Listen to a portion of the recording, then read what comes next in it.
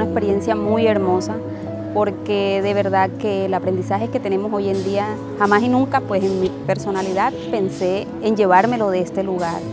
Yo hago parte del taller de modistería, el cual dirijo hoy en día. Empecé, como les digo, sin ningún conocimiento. Me siento orgullosa porque me estoy graduando pues, de modistería. Eh, estoy muy agradecida en estos momentos con la Universidad Autónoma que nos dio la oportunidad de, trabajar y de aprender con ellos a la Fundación Esperanza, que ha sido mi hogar, que ha sido mi familia.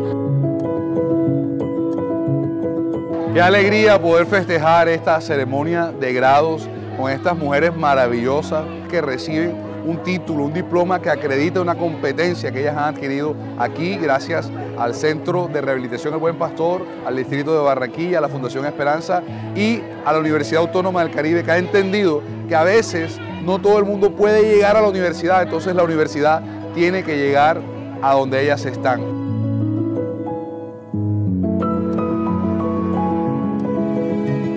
El mensaje que les doy hoy en día es, de que se den cuenta de que no por el hecho de que nosotras estemos en este lugar eh, seamos malas personas. Las segundas oportunidades existen y hoy todas estas mujeres que estamos acá, logrando todo lo que nos propusimos, somos valoradas y somos enviadas para que ustedes no cometan el mismo error. Sabemos de que a pesar de ese error llegamos a este lugar y no fue para mal, porque quizás en la calle nunca hubiéramos llegado a lograr este logro que hoy tenemos. Y que sepan que las oportunidades sí existen y más cuando las cosas se hacen con amor.